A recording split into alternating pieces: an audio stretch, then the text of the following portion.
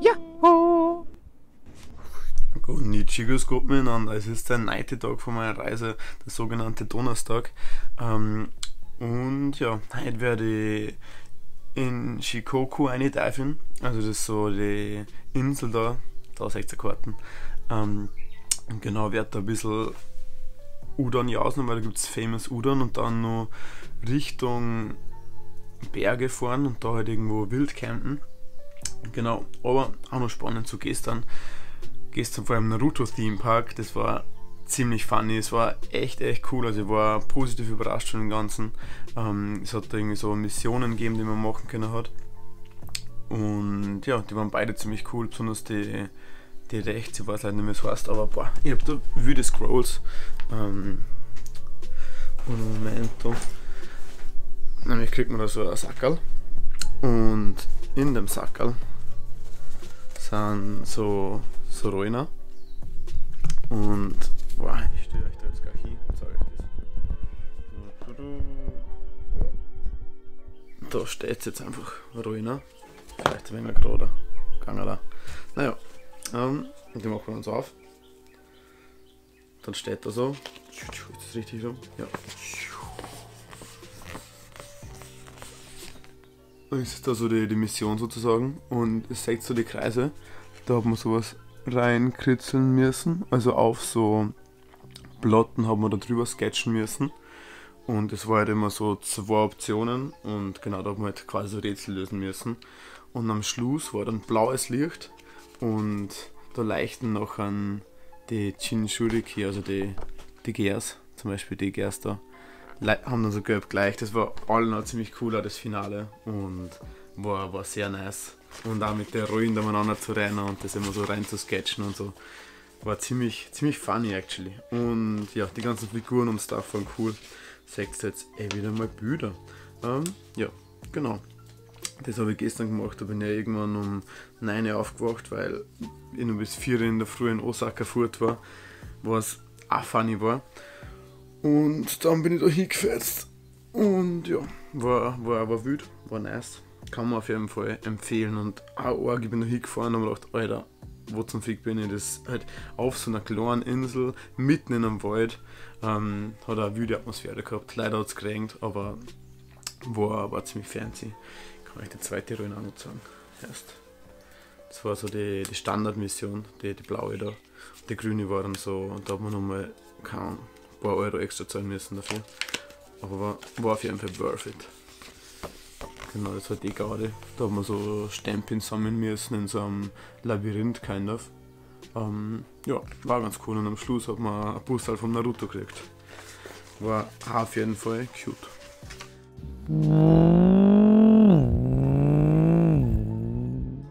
Du grüß Gott wieder. Boah, ich bin jetzt echt viel unterwegs gewesen, habe da so einen richtig, richtig nice Garten gesehen. Ähm, habe nice Udon gegessen, die arschbillig waren. Also die Udon haben literally 3,50 gekostet. Das war eine große Portion, die war heller voll. Also das war eine gute Udon-Experience. Ich habe leider kein Foto gemacht. Ähm, und ich bin da gerade an so einem wüden Flussbeet. Weil da schaut wie schön die ganzen Berge und so sind. Also Tokashiki, fuck, ich bin schlecht mit Namen, die Insel da wo ich bin, ähm, ist heller, heller beautiful. Also der Drive daher war urwild, also es waren nice Kurven. Ich hab arg den elektronischen Dubstep-Shit gepumpt. Also natürlich mit Transparency-Modus bei den Airports. Ich habe bloß dann nur mein Motor gehört und so. Ich habe jetzt nicht Unacht gegeben. Kann man das sagen? Probably. Vielleicht, ich weiß es nicht. Und ich scoute da gerade so ein bisschen meinen Schlafplatz für heute. Ähm, da oben gab es schon eine nice Option im Wald, kind of. Aber wo jetzt es da am Flussbeet, da vorne schaut es nämlich nach Wiesen aus. Ist das war? Das da, genau. Vielleicht lege ich mich da hin und genau, da schaue ich mich gerade ein bisschen um. Ist so oder so, glaube ich, auf jeden Fall ganz nicer Spot, da sind gar keine Leute. Und ich bin trotzdem nicht so weit weg von der Straße und so. Also ich habe jetzt nicht wirklich Angst vor wilden Tieren da. Wobei es anschaut, also ich habe schon öfter so Schüler gegeben mit Achtung Wildsau. Also ja, vielleicht gibt es Wildsei. Aber ich schätze auch nicht, dass sie da so. Keine Ahnung. Ich habe eigentlich keine Ahnung. Ähm, ich hoffe einfach, dass mir kein Wildsau verrammt die Nacht. Aber kommt auf. Ähm, ich lasse euch auf jeden Fall wissen. ähm, sonst, genau, ich war in einem wilden Garten, habe Udon gegessen. Das war es eigentlich jetzt so heute. Habe ziemlich viel Meter gemacht und habe einfach die, die Views da genossen. Also das schaut echt, das ist echt, echt äh, ein festes Platz der Erde da erst, ganz ehrlich. Ähm, so, ist das Wiesen oder ist das Storner mit Unkraut? Wir werden es herausfinden. Aber ich schätze mal, das war's für heute. Und morgen besteige ich den nächsten Berg auf der Insel. Gleich in der Früh. Hab da jetzt schon Proviant besorgt und ja, bin gespannt. Ich bin noch circa eine Stunde Motorradfahrt und dann geht's bergauf, wie man so schön sagt erst. Ah, so eine schöne Sprache, wie du reden hast. In dem Sinne, bis morgen. Moin. Ähm, ja, ich habe gerade meine zweite richtige Nacht in der Wildnis überstanden und hat erstaunlich gut funktioniert. Es war gut warm heute. Ähm, ein bisschen Angst so vor den Wildschweinen gehabt, weil da waren öfter mal so Aufsteher, so Achtung Wildschweine auf dem Weg. Ähm, aber ich lebe, mir hat kein Wild verrammt, alles Gucci und die Aussicht ist ziemlich nice. Also ich habe nicht da geschlafen auf die Storner, sondern ich habe da hinten im Wald geschlafen und bin halt jetzt zum Frühstück noch zur Storner gegangen. Ähm, ja, und jetzt geht es auf zum Bergsteigen, habe ich ja gestern schon erwähnt. Und dann geht es weiter, einfach so die Bergstraße entlang, weiter Richtung Westen, genau. Ja, genau. Und da kommen jetzt ein paar arge Clips davon.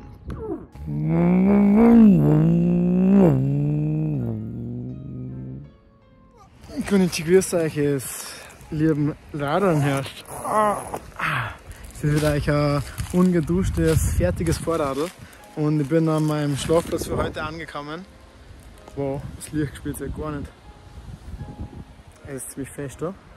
Ähm, wow, und der, der Weg, wow, Licht. Der Weg daher war auch geil. Also es war wild nice Kurven und wild nice Aussicht. Ich blende euch da jetzt mit zwei Videos ein, einfach so fucking nice sind. Und das war halt die Aussicht, was ich gehabt habe, während die wild am Biken war. Also so wirklich wild so in Kurven liegen. Ich meine, so das Motorrad, was ich habe, ist das wildeste Motorrad dafür, das, das ist mir bewusst. Also trotzdem ziemlich geil. Also es war echt eine gute Straße, es war echt eine, eine gute Garde. Ähm, war all in all sehr geil. Ich baue jetzt mein Zelterlauf, gehe duschen und dann gehe ich raus. Weil, boah, ich, ich, bin heute auf den Berg aufmarschiert, nämlich auf den höchsten da in, in dem ganzen, auf der ganzen Insel. Und war ziemlich wild, weil ich habe irgendwie nichts, nicht viel getrunken gehabt davor. Das heißt, ich bin da irgendwie halb erstickt. Also nicht erstickt, aber halt verdurstet. Ähm, war nicht so leibend, aber ich habe es trotzdem aufgeschafft, weil ich schaue so fettig aus, was Sinn macht, weil ich seit zwei Tagen nicht duscht habe. Ähm, aber Genau, bin ich aufmarschiert, war saugeil, war ein arger Vibe, da seht ihr auch ein Video dazu, also es war ziemlich neblig, also die Aussicht war jetzt nicht so 100% worth it. Bin aber gesprintet, Loki, also es war auch wieder Vibe, ich bin irgendwie so einen Berg runtergelaufen. Hab mir halb meinen Knöchel gebrochen, aber es gehört irgendwie dazu. Das Problem war, ich habe meinen Haum verloren, das bin mir erst draufgekommen, weil ich ganz unten war. Das heißt, ich bin dann nur mal den halben Berg hochgelaufen. Also da bin ich dann gar nicht gelaufen, aber ja, das war sehr demotivierend. Und dann hat es da kein Restaurant oder so in der Nähe gegeben und ich war einfach so ein hungriger Boy. Ähm, dann bin ich in einer Dreiviertelstunde gefahren und dann haben da auch alle Restaurants zugehabt, die Google Maps gesagt haben, dass sie offen haben. Dann haben wir in so einem Geschäft alle ähm, äh, so einen Softdrink und so Snacks gekauft, die mich jetzt eh durch den Nachmittag gebracht haben, so faul.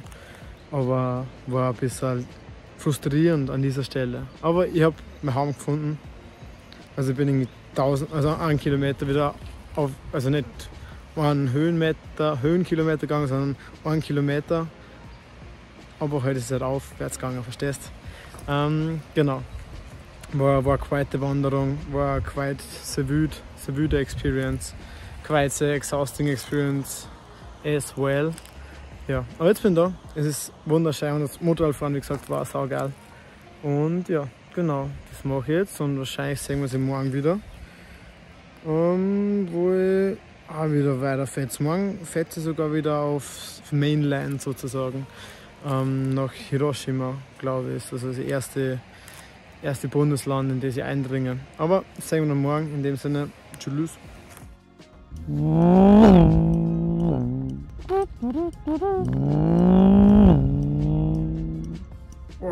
Und da sind wir schon nicht morgen, sondern übermorgen. Ähm, und es ist wieder sehr viel geschehen. Ähm, und so da vorgestern bei dem Campingplatz ist dann sogar noch ein anderer Dude gekommen, der Kenji. Und mit dem habe ich dann ein paar Bierchen getrunken und ein bisschen gelabert. Das war ziemlich nice. Und der hat auch gemeint, nächstes Mal nach Japan kommen, kann ich bei ihm bleiben. Das ist ein Holzhocker, der noch so Rafting-Touren macht. Genau, und der hat auch da gecampt, weil er nächsten Tag dann eine Rafting-Tour gehabt hat. Ähm, und ja, cooler Typ. typ. Ähm, aber leider ein bisschen Alkoholiker. Der hat erzählt, jeden Tag, wenn er heimkommt am Abend, trinkt ein Bierchen, ist kommt zu und dann schlaft er. Und nächsten Tag das gleiche. Das macht er jeden Tag. Soll man machen, wenn das Bier einfach so gut schmeckt hast. Ähm, geschicht. Aber war auf jeden Fall sympathisch. Cooler Typ. Ähm, genau, dann bin ich von da weitergefahren zur sogenannten Nico Deep. Ähm, das ist so eine Schlucht, ein Klamm und die war heller, heller beautiful. Also da waren auch einige Leute, aber es war echt, echt fesch, wie es eh da jetzt gerade sagt. Ähm, echt, echt leibend. Und das ist so ein bisschen in den Bergen gewesen und dann bin ich halt weiter so in den Norden gefahren, eben so zu der ähm, Überquerung nach Hiroshima. Und da ist dann der Sprit ausgegangen, weil da war nirgends Tankstellen da oben. Ähm, und boah, da war ich gescheit am Schwitzen, da bin ich mit dem Lager am Berg runtergerollt und habe gemeint, oh fuck, ich hoffe, das geht sich aus. Es ist tatsächlich ausgegangen, ich habe nur 0,05 Liter gehabt. Das sind irgendwas Milliliter, konnte man wissen, tue ich gerade nicht. Ähm, ja, war ein bisschen kritisch, war wütend, aber ist sehr ausgegangen. Also ich war schon kurz davor, dass ich irgendwo beim Heisel frage, ob die vielleicht ein bisschen Benzin für mich haben. Ähm, aber dann, als ich mir dachte, wow, scheiße, es wird wirklich kritisch, also jetzt ist es wirklich bald raus, war ich schon fast bei der Tankstelle und gemacht, okay, das, das schaffe ich und falls nicht, kann ich es auch hinschieben. So, das ist schon im Rahmen des Machbaren, haben wir gedacht. Und wie gesagt, war sehr machbar. Ähm, genau. Dann aber, nachdem ich gedankt habe, habe ich zum Second-Hand Store geschaut, weil ich wollte mir Schlapp verkaufen weil immer meine Schuhe anziehen und ausziehen beim Campen ist irgendwie ziemlich zart und ich habe gedacht, ich kaufe einfach so billige Flipflops, was ich dann auch gefunden habe um 50 Yen, was literally 35 Cent sind. War eine gute Investition und ich habe dieses Glanzstück hier gefunden. So, die Rockets in dem Motorrad fahren und ich fühle mich einfach wie ein neuer Mensch. So, das ist der, der ärgste Drip gleich viel besser das Video hörst, wieso ist nicht gleich aufgesetzt. Ähm, anyways, guter Fund. Der hat eigentlich nicht so 2 Euro gekostet oder so, oder 1 Euro oder so. Secondhand Stores, besonders da irgendwo so am Land oder da eben auf Shikoku, wirkliche Goldgruben, also arg, was da für wild nice Sachen gibt, die man bei uns ums 20-fache verscheiben kann. Um, for realsies. Gute Garde. Ähm, dann war ich schon ein bisschen am Abschweifen bin. Nur, nur, nur kurze kleine ähm, Japan-Motorrad-Straßen-Side-Story. Und zwar sind auf die Straßen jegliche Farben gegeben. Also die, ich habe schon blaue glitzernde Straßen gesehen, ich habe grüne Straßen gesehen, ich habe weiße Straßen gesehen, ich habe rote kleine Hügel auf der Straße gesehen, die gleichen habe ich auch schon in blau gesehen, in weiß. Also so straßentechnisch sind sie wirklich sehr divers unterwegs. Ähm, dann nur so zum Speedlimit, das ist eigentlich überall ja 50er oder 40er gut Ding, manchmal auch 30er, also in dem Rahmen hält es sich. Aber beim 50er auf so einer größeren Bundesstraße fahren nicht alle 70, 80 und beim 40er fahren die meisten irgendwie 50, 60. Das heißt, es gibt Speedlimits, es gibt keine Blitzer. Ähm, ich weiß nicht, ist vielleicht eh schon verzögert, aber darum ist halt auch mein, mein Moped. Ähm, was glaube ich eher trifft als Motorrad, weil es halt unter 125 Kubik hat oder halt genau 125 Kubik. Ähm, ziemlich gut, gut gegeben, weil es sowieso nicht der 80er geht und da ist schon wirklich am Schreien, die arme Gas. Ähm, ja, und darum passt es eigentlich tiptop. Genau, habe ich vielleicht wahrscheinlich schon mal erwähnt. Anyways, war ich da in einem Swift Store Berufssteuer ähm, und bin dann eben da die Insel überquert bis nach Hiroshima. Es sind irgendwie so drei Inseln, was man überquert mit so ganz arge Brücken, also da eh wie immer arge Bilder. Und das war eine spannende Experience, weil da einerseits eben den Highway gegeben, die Koso Kodori, die Autobahn, genau so heißt auf Deutsch. Ähm, gut, dass mir Englisch und Japanisch vorher einfällt. Anyway. Ähm, die hat es gegeben. Dann hat es einen Radl-Fußgängerweg gegeben. Also man kann die drei Inseln auf per Fuß überqueren, was wahrscheinlich zwei Tage dauert oder so. Und zu dritt oder als drittes hat es dann nur eine Moped-Spur gegeben. Also wirklich eine Spur für Motorräder unter 125 Kubik. Ähm, und genau, die habe ich dann nicht mal genutzt. Auch wieder sehr praktisch, dass da mal Gas reinfällt, weil es halt viel, viel billiger ist, als über die Autobahn zu fahren. Mein Handy hat es, ich, so auch immer einfach gesperrt und wieder einsperrt. Keine Ahnung. Ähm, aber, oh, Entschuldigung. Ähm, ja, genau. Aber es war auf jeden Fall ziemlich cool, weil die Mopedspur ist dann immer so auf der Seite von der Autobahn oder halt auch unter der Autobahn bei der Brücken. Und außer von den Brücken fährst du halt immer so die Inseln rundum, was auch nice war. Da habe ich auch arge Sandstrände gesehen und eben arge, arge Views auf die Brücken. Ähm, war ziemlich, ziemlich sick, war spannende Traversal, aber dadurch, dass eben auf Google Maps das nicht gegangen ist, dass man das, das anzeigt, weil auf Google Maps kannst du nicht Auto fahren oder nicht einmal Radl fahren in Japan, das geht in Österreich auch, das, das geht da auch nicht. Ähm, von dem her habe ich nicht gewusst, wie lange das dauert, aber ich bin dann gestern, glaube ich, schon vielleicht unentspannte 400, 500 Kilometer gefahren, glaube ich. Ich bin jetzt eben auch bei Gurting 2000, was eh wild ist. Und ich bin jetzt auch fast bei der Hälfte, also ja, genau. Aber boah, stimmt, das war erst gestern. Boah, das ist, das geschieht immer so viel erst. Ähm, wenn ich überquert bin, dann zu einem gratis Campingplatz gekommen, wieder mal. Also immer am Schauen, dass ich bei gratis Plätzen bin. Und da war eine Familie mit eben einem Vater, einer Mutter und drei Töchtern. Und ja, die schon voll gespannt, wie ich gekommen bin. Und dann bin ich halt so mein Zelt aufbauen gegangen, bin extra weit weg von einer gegangen und gedacht habe, ja, falls nicht gestört werden wollen und so, so höflichkeitshalber gehe ich ans andere Eck vom Campingplatz. Und dann sind sie unter dem Aufbauen schon die, die Tiere und so dahergekommen und haben so, so spannend geschaut. Und genau, dann habe ich mit denen ein bisschen geredet, das war eine spannende Experience, mit japanischen Kindern zu reden, habe ich noch nicht so oft gehabt, ähm, war aber, ja, hat ganz gut funktioniert also so die Topics sind eh nicht die, die intensivsten mit Kindern. Wir haben so über Farben geredet und über ähm, wir haben so Radeln gemacht und ich habe ihnen gesagt, ich kann Radl in beide Richtungen. Ja, da waren sie sehr impressed. Verständlicherweise. Kannst du Radl in beide Richtungen? Glaub nicht. Ähm, naja, probier's mal aus. Anyway, habe ich dann mein Zelt aufgebaut und mit einer geredet und dann habe ich halt die ganze Zeit mit einer gespielt und die Eltern haben uns dann, also haben mir dann ein Essen angeboten, ein Bierchen und so. Habe ich natürlich sehr, sehr dankend und zurückhaltend angenommen. Aber ich habe mich dann gefühlt wie so, wie so ein Kind. So mit den anderen Kindern gespielt und so Essen, gegessen. Und ähm, ja, war, war funny. Und darum habe ich gestern nicht mehr recorded, weil es hat schon angefangen beim Zelt aufbauen, wie ich angekommen bin. Und dann haben wir die ganze Zeit gespielt, bis das irgendwann, wow, irgendwann zum Schlafen war. Aber was nur zu alt, wir haben da so Hanabi, also Feuerwerke, was nicht wirklich Feuerwerke sind, aber haben es auch gehabt und da habe ich auch teilnehmen dürfen, was auch wiederum sehr nice war. Und das waren so Wunderkerzen, ähm, aber die haben da so ganz dünne Wunderkerzen gehabt, die so ganz langsam abbrennen und die halt dann so wie so ein Stern so, so knistern, das war, das war nice. Sie haben mal gesagt, das heißt, aber ich habe es obviously vergessen. Ähm, also nicht obviously, aber es ist schwierig, die japanische Begriffe so durch ein, zwei Mal Herren zu merken. Besonders es war ein ziemlich langer Begriff.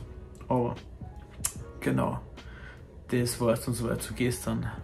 Boah, und dann über Nacht war es gescheit kalt und ich bin halb erfroren und habe kein Wasser gehabt, weil eigentlich wollte ich da hinfahren, ähm, mein Zelt aufbauen und dann eben zu einem Supermarkt fahren und mir Essen und Trinken kaufen weil dort beim Campingplatz hat es kein Trinkwasser gegeben.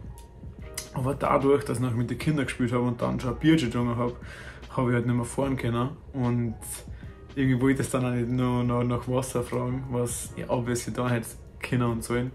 Aber irgendwann war es dann drei in der Früh, ich bin aufgewacht, weil mir so kalt war und ich habe jetzt so Durst gehabt und bin um drei in der Früh gleich ähm, zu so einem Convenience Store gefahren, der hat 24 offen und habe da Trinken und so gekauft. Naja, und darum war ich heute ziemlich fertig, ich bin right now ziemlich fertig, weil ähm, ich nicht so viel geschlafen habe. Ja, aber heute, der nächste Tag erst. Heute bin ich nach Hiroshima gefahren.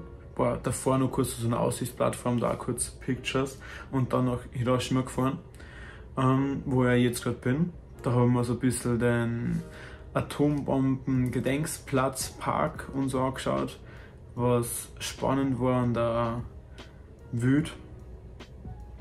Ähm, ja, genau, war dann da noch im Pokémon Center und da hat es so Pikachus gegeben und zwar war jetzt Pikachu anders. Ähm, manche haben einen größeren Kopf, manche sind ein bisschen dicker, manche sind dünner, manche sind kleiner, größer und haben dann verschiedene Gesichtsausdrücke oder haben Hände im Gesicht oder haben Hände verschränkt oder so. Und ich habe es mir leider nicht nehmen lassen können, aber nicht eigentlich sparen will, aber ich habe dieses traurige, nachdenkliche Pikachu gefunden und habe mir gedacht, das ist viel zu süß. Es schaut eigentlich aus. Es hat ah, so viel gegeben und es waren so viel so Süße dabei und am liebsten hätte ich, man kann maximal drei kaufen, am liebsten hätte ich gleich drei gekauft, aber eigentlich sollte ich gar keins kaufen, aber ich habe jetzt die Gas gekauft. Und das ist auch komplett gute Gas. Genau. Ähm, der Benedikt wieder am Start. Sonst ist heute nicht so viel geschehen. Ich bin halt dann da jetzt ins Hotel gegangen, habe Orge Okonomiyaki geöffnet. Das ist nämlich so ein spezielles Ding für Hiroshima. Da gibt es Okonomiyaki, was eigentlich so ein Cabbage, ein Kohlpfannkuchen ist. Und den gibt es da in Hiroshima auf Nudeln anbraten quasi. Das eine Spezialität da. Und es war ziemlich geil. Kann ich auf jeden Fall recommenden. Genau, jetzt bin ich da. Und ja, das war es eigentlich jetzt endlich soweit. Also sehr viel geschehen. Ich habe jetzt mal alles weil meistens, wenn ich so die, die Shots mache, weiß ich nicht mehr, was passiert ist und nachher ähm, vergieße ich einige Sachen, aber das war äh, zur Gänze Erzählung der letzten zwei Tage. Genau, morgen geht es dann nach Yamaguchi. Da ist eh nicht 100% klar, wohin, wie und so. Weil es gibt echt nice Plätze, aber die sind ganz weit im nicht Nordwesten. Und das war halt dann schon ein bisschen ein Umweg. Aber es sind nice Plätze, muss ich mal anschauen, wie das ausgeht. Ich habe ein bisschen Angst, dass ich einen gescheiten Stress kriege am Schluss und dass vielleicht irgendwie viel Regen und so es nicht ausgeht. Darum wahrscheinlich lieber Safe than Sorry Route nehmen aber mal schauen. Sonst ist es wieder Regen um, übermorgen oder so. Aber ja, schauen wir. In dem Sinne, nächster Shot. Tschüss. Das ist tatsächlich ein finales Tschüss und dann ist das Ende vom Video. Ich sitze gerade mit Mickey Dienst und hat das Video gleich hochgeladen. Das gerade so ein Mensch spaziert. Ähm, ja, ich hoffe, euch hat es gefallen. Ähm, ich versuche es nächste Woche wieder oder die Woche wieder am Sonntag zu schaffen. Und ja, liken, kommentieren. Und jetzt kommt noch ein Anime-Clip, der dann so ein Typ für mich editiert hat. So, we're random, aber enjoy. Tschüss.